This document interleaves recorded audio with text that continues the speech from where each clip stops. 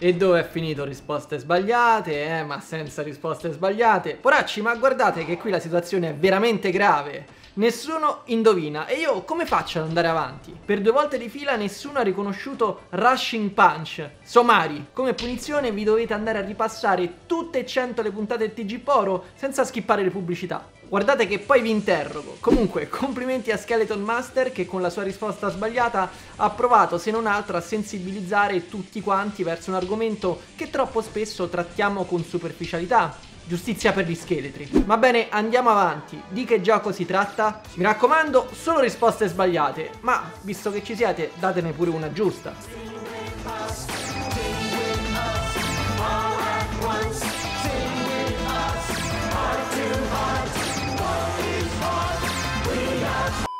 Poracci, bentornati o benvenuti su TG Poro, l'unico format di YouTube Italia dove si parla di videogiochi anche quando si è in vacanza.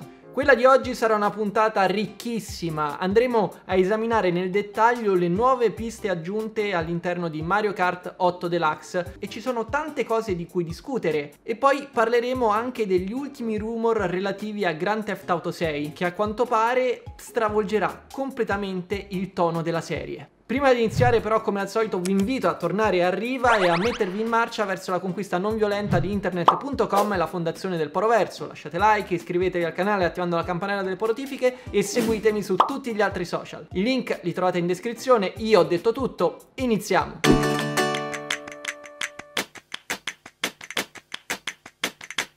Partiamo con qualche notizia al volo e inizierei con una bella carrellata di giochi più o meno gratis e dove trovarli. Sull'Epic Game Store ogni settimana viene regalato un titolo e questa volta è il turno di Unrailed che sarà disponibile per essere scaricato gratuitamente a partire dal 4 agosto. Non ho mai provato Unrailed ma a quanto pare è il classico indie dalle premesse carine che se te lo regalano che fai? Rifiuti? Continua invece la lenta agonia del Games with Gold e anche per agosto non è che l'offerta di Microsoft brilli particolarmente. Se siete diventati gattari grazie a Stray, magari potete buttare un occhio su Calico, oppure se siete più tipi da azione c'è il roguelite Scourgebringer e a completare l'offerta ci penseranno i classici Saints Row 2 e Monaco. Il mio consiglio? Se siete abbonati solo al Gold, investite qualcosina di più e passate al pass. Poi non dimentichiamoci di Amazon Prime Gaming, che continua a offrire la storia delle avventure grafiche mese dopo mese. Questa volta, finita la serie di Monkey Island, è il turno di Zack McCracken e vi segnalo anche la presenza della remastered di StarCraft, oltre che Scourgebringer, pure qui, Recompile e Beasts. Poracci sono gratis, riscattateli e non si sa mai, prima o poi riuscirete a giocarli. Il Plus invece ancora una volta mette in piedi un mese mostruoso. I tre titoli offerti saranno Tony Hawk Pro Skater 1 e 2, Yakuza Like a Dragon e anche Little Nightmares. Tre titoli di tre generi diversissimi tra di loro ma che vanno aggiunti assolutamente alla propria collezione. Tra l'altro a proposito di Yakuza, a partire da agosto i tier extra e premium inizieranno ad ospitare gli altri capitoli della saga, con alcuni che però saranno esclusivi solo del tier più elevato. Un'ottima mossa che fa il verso a quanto accaduto un anno fa più o meno sul pass, ma che spero non sia in sostituzione di novità per il catalogo retro gaming, che è la parte dell'offerta del nuovo Plus che più mi interessa e che più assolutamente va rinnovata. Visto che difficilmente riusciremo a parlarne domani, vogliamo un attimo soffermarci sulle recensioni di Xenoblade Chronicles 3? Monolith a quanto pare ha tirato fuori un vero capolavoro, il migliore di tutta la saga Xenoblade,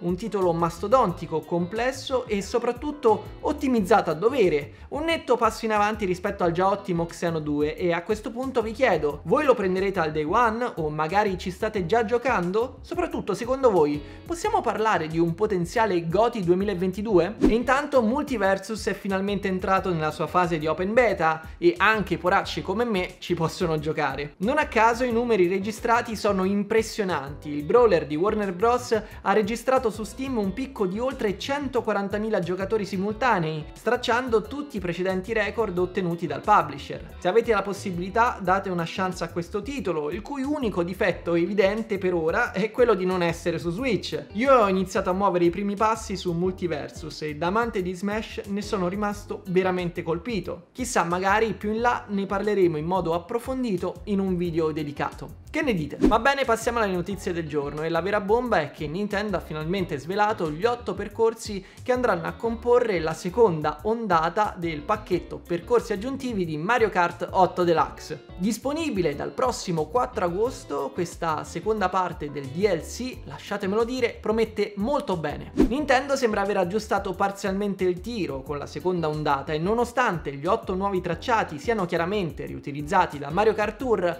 a livello qualitativo possiamo notare un bel passo in avanti rispetto a qualche mese fa. Innanzitutto da quel poco che si vede la cura grafica riposta nei tracciati sembra più in linea con la qualità delle piste principali di Mario Kart 8 Deluxe e nonostante ci sia ancora lo stile inconfondibile di Tour, la base è pur sempre quella, direi che il tempo extra è stato speso per aggiungere qualche dettaglio agli scenari, donandogli così una maggiore profondità. Poi c'è anche la selezione delle tracce, che va a prendere alcuni dei nomi più amati in assoluto dai fan della serie. Immagino che tre quarti di voi abbiano goduto di brutto con l'arrivo di Flipper di Waluigi o Waluigi Spinball, ma anche Gola Fungo è un vero e proprio simbolo di Mario Kart Wii, uno dei percorsi più apprezzati di sempre. Ci sono poi due curiose scelte, la prima è quella di far arrivare Terra delle Nevi direttamente dal GBA prima su 8 Deluxe invece che su Tour e anche poi l'inclusione di un nuovo tracciato, scelta che va contro quanto affermato durante la presentazione del DLC. Sì, lo so, lo avete scritto tutti quanti che arriverà anche su Tour,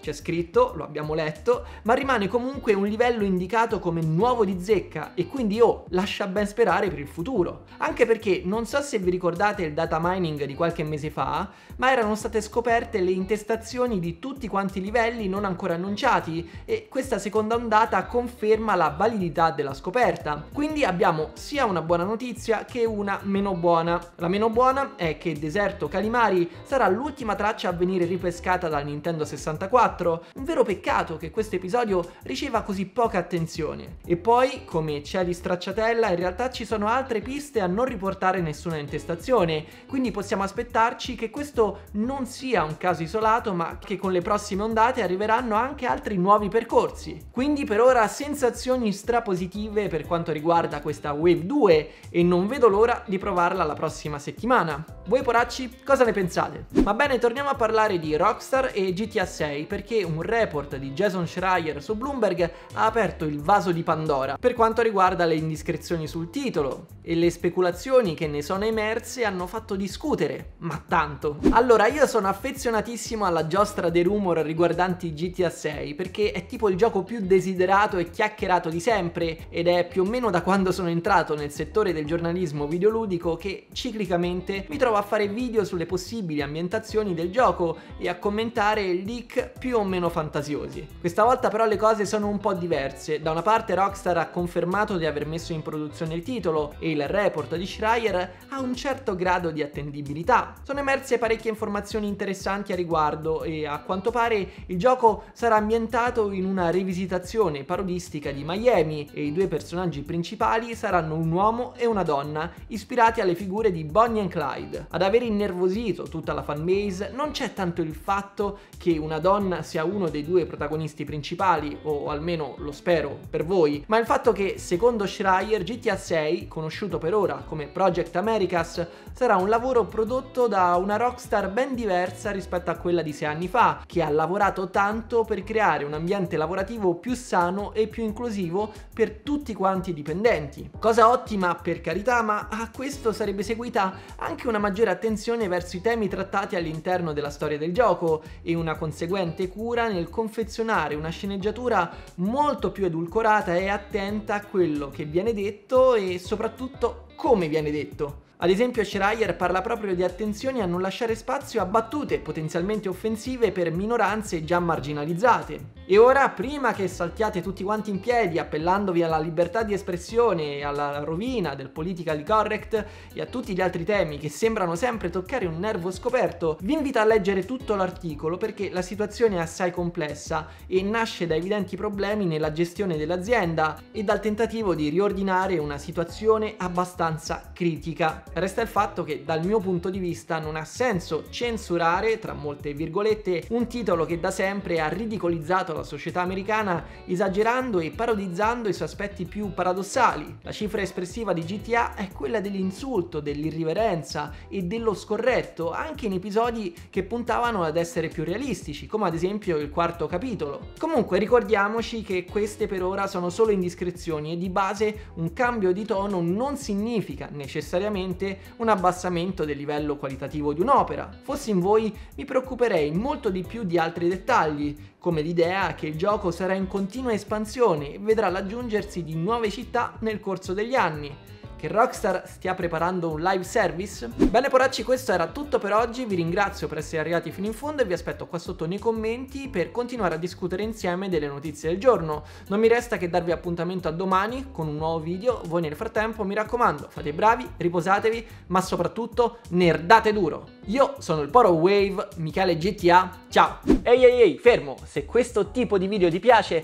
prendi in considerazione l'idea di supportarmi sul Poreon, il Patreon dei poracci. Con un piccolo contributo mensile mi puoi aiutare enormemente a portare avanti i contenuti qua sul canale e in cambio ricevi anche delle ricompense di tutto rispetto come retroscena, anteprime e anche live esclusive dove andremo a caccia di retro game. Ti lascio il link in descrizione e ricordati che Poracci si diventa.